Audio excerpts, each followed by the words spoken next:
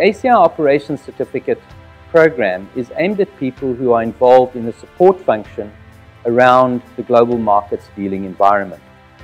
People who are active in operations would generally be people who not only conclude the competencies of confirmation, settlement and reconciliation, but more importantly today are also people involved in revaluation and the risk management function.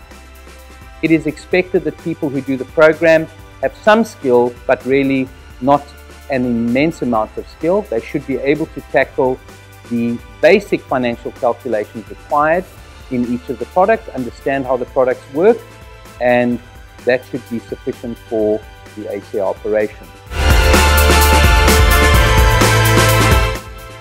The topics covered in ACI operations are nine topics and there are nine examined sections.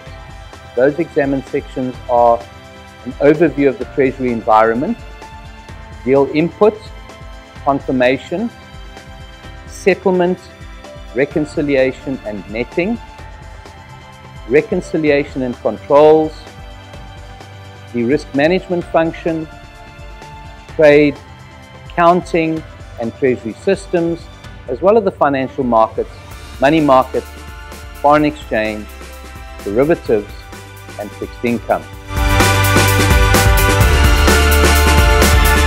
The program is conducted over a three-day period in a classroom-style environment. Candidates are given a handheld calculator.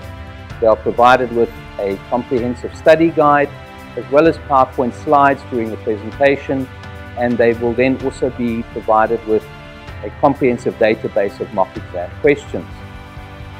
The workshop is interactive and students are encouraged to ask questions. After each section is concluded, the students will be taken through a series of mock exam questions which will allow them to cement the competencies learned in that section. After the workshop, students are encouraged to continue with their preparation and they should conclude the exam within two months of attending the workshop. Once again, they have the support of a WhatsApp group.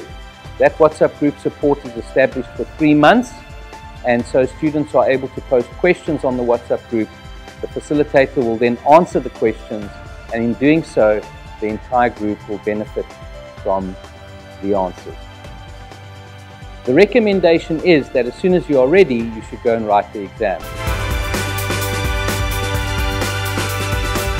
The ACI operations exam consists of multiple choice questions. There are 75 questions with no negative marking and the exam is conducted on a computer data system and has to be undertaken at an accredited exam site. The students are allowed to take in a formula sheet.